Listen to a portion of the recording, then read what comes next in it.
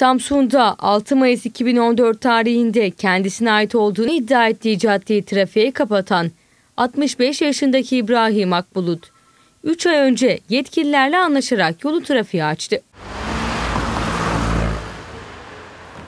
Ancak taleplerinin karşılanmadığını ileri süren Akbulut, caddeyi tekrar kapattı. İlk adım ilçesi Liman Mahallesi Gençlik Caddesi'nde 1050 metrekare tapulu hissesi bulunan İbrahim Akbulut, daha önce kazık çakarak trafiğe kapattığı yolu kepçe aracılığıyla yola toprak dökerek kapattı. Akbulut yolun kapatılması esnasında yoldan geçmek isteyen vatandaşlara ise izin vermeyerek başka yoldan gitmelerini istedi. Arazimi kullanıyorum.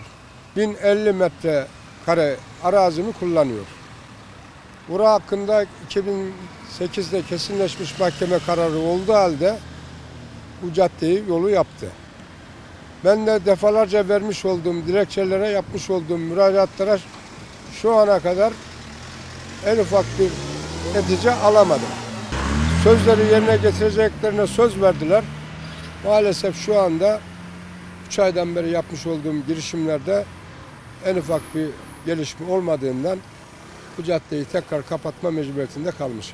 Konuyla ilgili açıklama yapan Samsun Büyükşehir Belediyesi Genel Sekreteri Coşkun Öncel ise o bölgede imar uygulamaları vardı. Bu uygulamalar mahkemeden geri döndü. Bundan sonraki süreçte nasıl bir tutum sergileyeceğimiz arkadaşlarla toplantı yapıp değerlendireceğiz. Hukuk ne diyorsa biz onu yaparız. Onun haricinde bizim yapabileceğimiz bir şey yok. Biz hukuk ne diyorsa onu uygulayacağız diye konuştu.